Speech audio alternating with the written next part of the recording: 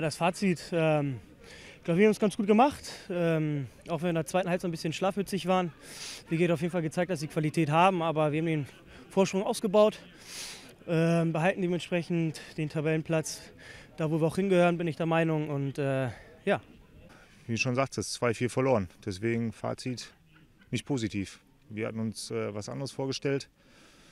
Das war mit der Halbzeit eigentlich oder mit der ersten Halbzeit fast schon erledigt. Ähm, da haben die Jungs das nochmal zweite Halbzeit ganz ordentlich gemacht.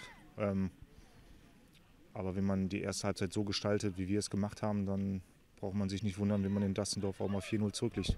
Äh, ja, muss man, natürlich. Äh, klar, wir haben viele Themen, die wir ansprechen müssen, die einfach nicht gut gewesen sind. Äh, da sind auch Themen, die sich teilweise immer wiederholen. Ähm, das haben sie zweite Halbzeit äh, besser gemacht.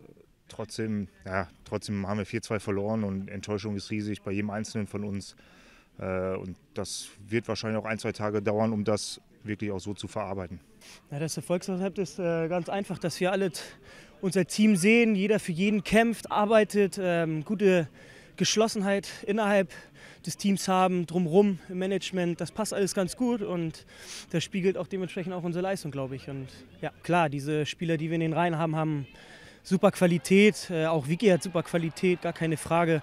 Nichtsdestotrotz gewinnt die Mannschaft. Das ist ganz wichtig. Ähm, wichtig ist, dass elf Spieler oder alle, die auf der Bank sitzen, äh, an einem Strang ziehen. Und äh, klar wissen wir halt, welche individuelle Klasse wir haben und dass das auch immer so ein Spiel entscheiden kann, gar keine Frage, ja. Das weiß ich jetzt noch nicht. Ich habe jetzt auch im Kreis nichts Großartiges gesagt. Ähm, deswegen, das muss ich mir auch noch überlegen. Keine Ahnung, was mir da noch einfällt. Ähm, wie gesagt, wir müssen, ein paar Themen müssen wir ansprechen zum wiederholten Male. Ein paar Themen müssen wir ansprechen, die wir gut gemacht haben, darauf aufbauen. Und ähm, wie es aber im Detail aussieht, dann jetzt nächste Woche, kann ich jetzt noch nicht sagen. Vielen Dank fürs Zuschauen. Wenn euch dieses Video gefallen hat, schenkt uns einen Like und kommentiert dieses Video.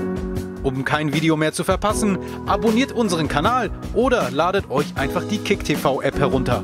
Vielen Dank fürs Zuschauen.